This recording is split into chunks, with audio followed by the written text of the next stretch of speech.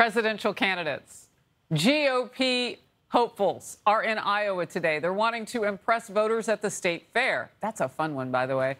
The Iowa caucuses just about five months away, January 15th, and it's seen as a key step in the race for the White House, as you may know. And all eyes today are on Florida Governor Ron DeSantis. He's coming off a campaign reset. The polls showing, though, that he'll have some work to do on the ground in the Hawkeye state. The former president Donald Trump up by more than 20 points. Um, but look at that. I mean, that it's tightening a little bit as more people take more percentages out of what we saw at the very top of, of the chart there. So this is interesting. It's always good to watch democracy in progress. All right. Meanwhile, Chris Christie is taking his campaign to New Hampshire today and taking shots at DeSantis. DeSantis is now bracing for an onslaught of attacks from the other presidential candidates at the first debate that's now 10 days away, especially if former President Donald Trump is a no show because DeSantis will then have the highest percentage of anybody on stage of projected voters. He's or projected voters for president. He's reportedly prepping intensely for the big target that politically will be on his back. Shermichael Singleton is the host of the Shermichael Singleton Show on SiriusXM and a former deputy chief of staff of HUD. Leslie Marshall is a Fox News contributor, and it is fantastic to have them both. Shermichael, I'll start with you and what's ahead for Governor DeSantis.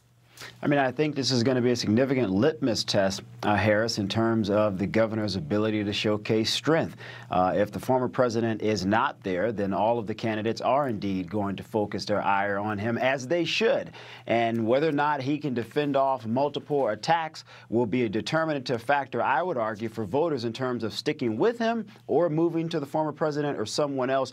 If the former president is on that stage, I hope Ron DeSantis does more than preparing once a week because it's going to take a whole lot more.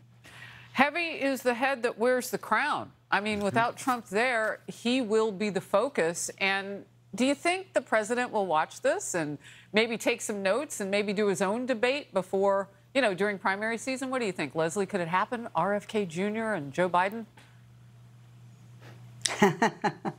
no, I don't think RFK Jr. and Joe Biden. I do think Donald Trump will, watch, and I do think he'll take notes, or have somebody else maybe uh, send him some clips, uh, certainly. Look, I would agree that uh, Ron DeSantis is going to be uh, front and center for this, but he has two problems, Harris. He doesn't just have a Donald Trump problem, he has a Ron DeSantis problem. If you've noticed him out with a lot of people, unlike his wife, who's just been rocking it and doing great and very popular, he, he's not being very sociable, and sadly, politics has largely become a popularity contest, and Ron DeSantis needs to be the most popular, whether it's at the fair, whether it's on a debate stage, and we're seeing from the numbers that's not happening. I hate to say this, and I love to say that I was right, but I hate to admit that Chris Christie is doing the right thing by attacking everybody who's not Chris Christie, and you're seeing his numbers rise. I think he is somebody we actually should watch and not discount as many did when he first threw his All right, name I want to break that down a little bit, Shermichael. Likability, mm-hmm. I mean, this is a governor in Florida who has likability about his policies.